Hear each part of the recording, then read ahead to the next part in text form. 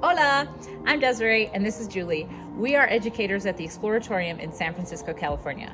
We're here in Bluff, Utah to bring you live broadcast coverage of the annular solar eclipse that's going to happen this Saturday on October 14th, 2023.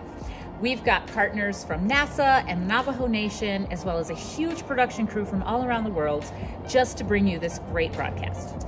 Yeah, we've been busy setting up telescopes to bring you close-up images of the sun, and there are these giant satellite dishes where we're gonna make sure to beam our broadcasts all across the world. And if you live in most of North Central and South America, you'll be able to experience at least a partial solar eclipse. But anyone can tune into our broadcast 9 a.m. Pacific time to see the annular solar eclipse from the Valley of the Gods. See you then. Bye.